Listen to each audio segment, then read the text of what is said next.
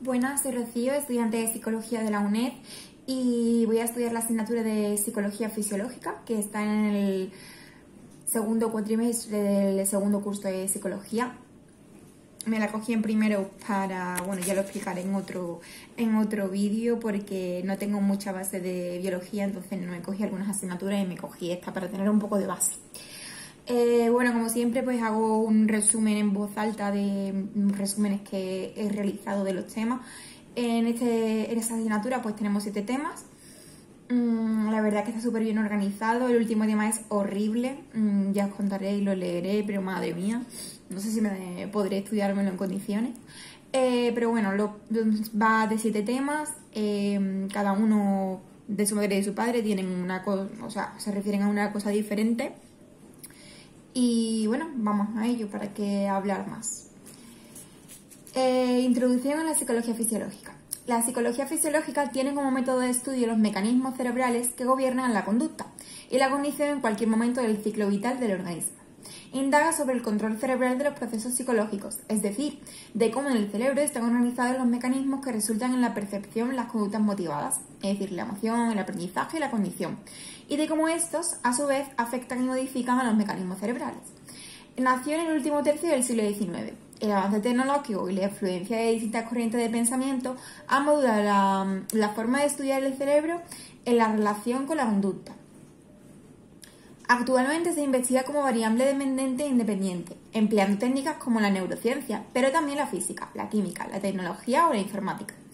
Hunde sus raíces en el método científico y la biología, y se distingue en tres etapas en la evolución de la psicología fisiológica, que son los orígenes históricos, el cambio de enfoque y la inmersión de la neurociencia. Primera etapa. Los orígenes históricos. A mediados del siglo XIX aparecen dos corrientes, la reduccionista y la holística. El reduccionismo intenta alcanzar la explicación a partir del estudio de las partes, en este caso Santiago Ramón y Cajal, y su estudio de la neurona como unidad fundamental del sistema nervioso, y Charles Serrington, que definió la, sinopsis, sinapsis como zona de la comunicación neuronal. La línea holística, en este caso, aborda la explicación de la conducta a través del estudio del organismo en su conjunto. Paul Broca y Carl Wernicke que localizaron zonas de la corteza cerebral relacionadas con el habla. En esta corriente surge el término psicología fisiológica por Maximilian Wundt. En este caso nos quedamos con el nombre Wundt, padre de la psicología experimental. Decía que la psicología debía investigar a través de la autoobservación controlada. Enfocó a la sensación y percepción. Pensaba que las sensaciones son puntos de contacto entre lo físico y lo psicológico. Segunda etapa. La influencia de la psicología conductista y neoconductistas y los laboratorios de, de fisiología. El conductismo señala que solo lo observable y medible puede ser objeto de estudio. En este caso, Hull da acceso a la filosofía en el estudio de la conducta. La teoría matemático-deductiva considera la importancia del drive, la necesidad, la privación, la conducta motivada dirigida a la meta y la emoción, que conduce hacia la morfología y fisiología del sistema nervioso. Tolman, que hablaba de conducta propositiva y mapas cognitivos, por lo que se vincula el estudio del cerebro con Ebb, que mostró el camino para relacionar patrones de actividad neuronal con procesos superiores de, representación y procesamiento de la información. Hay descubrimientos completados de John Kiefe o Maybrit Moser y Edward Masser, recientes premios Nobel de 2014, que han demostrado la implicación del hipocampo en la generación de mapas cognitivos. Gustav Theodor eh, Fritz y Edward Hitchfield emplearon corrientes eléctricas débiles para estimular la, corteza cerebral, en este caso para perros, que descubre que se movían determinados músculos de las extremidades cuando estimulan áreas corticales próximas se afectan a más músculos juntos. David Ferrier trabajó con perros y monos, empleó técnicas de lesión y estimulación de la corteza cerebral, demostró que las, las neuronas de la corteza motora están organizadas en un mapa. Clinton Wolsey y Philip Barr proporcionan el primer mapa cortical de la localización sematotópica de la sensibilidad cutánea entre gatos y humanos, estimulando la piel y recogiendo la actividad eléctrica de diferentes regiones de la corteza cerebral. Whitler Penfield lo completó en humanos. Walter Cannon reveló que la separación sensorial y motora entre las vísceras y el sistema nervioso central no altera la conducta emocional, es decir, se produce una activación de procesos emocionales del tálamo. Eh, Philip Barr, en experimentos con gatos, separando el tálamo del hipotálamo o el hipotálamo del mesencéfalo, observó que manifestaban respuestas emocionales al conservar el hipotálamo en la región dorsal del tálamo. Stephen Walter Rasson demostró que el hipotálamo participa en la regulación de las respuestas viscerales, de la presión arterial, frecuencia cardíaca, motilidad intestinal, piloerección, relacionadas con la emoción. Walter Hess, estimulando eléctricamente el hipotálamo de animales, es decir, sin anestesia, confirmó la respuesta del sistema nervioso autónomo descritas por Ransom. Describió reacciones defensivas en los gatos. Etherington y Ransom relacionaron el hipotálamo con la motivación por comer y Kunt Larson lo relacionó con la conducta sexual en ratas macho. En la actualidad, el desarrollo de técnicas de estimulación transcraneal en humanos y las de neuroimagen funcional permiten estudiar los procesos psicológicos en nuestra especie.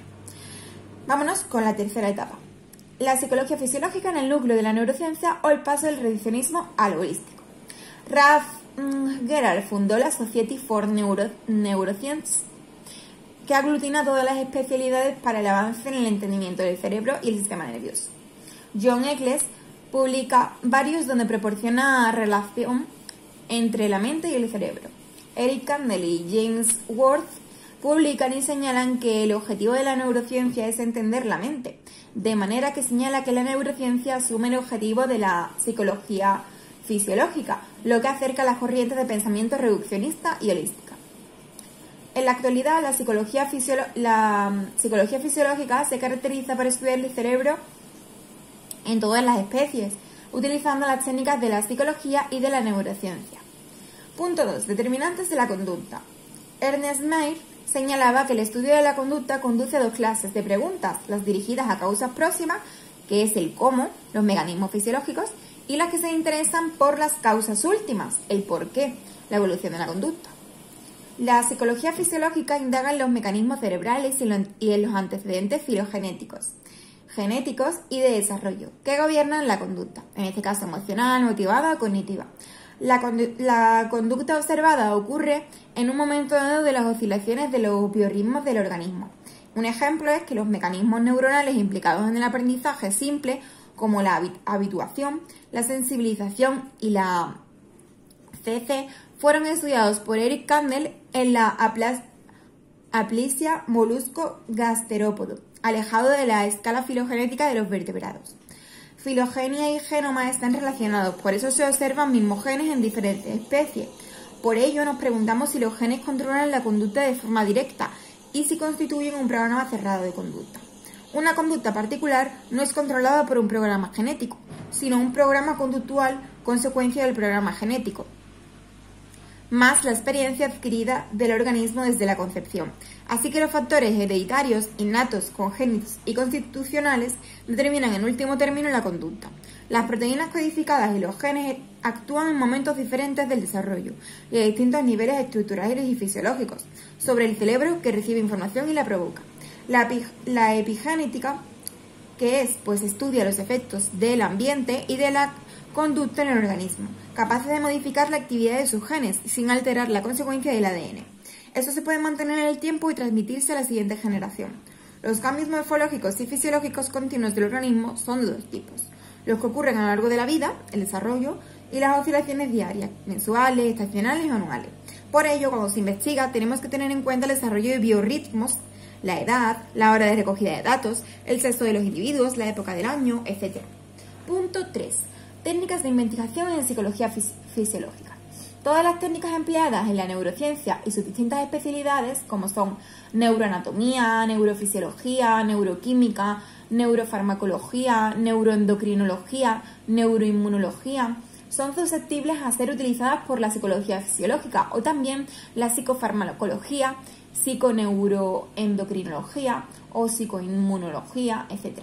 La psicología fisiológica es el núcleo central del estudio de la conducta. Es una disciplina molar.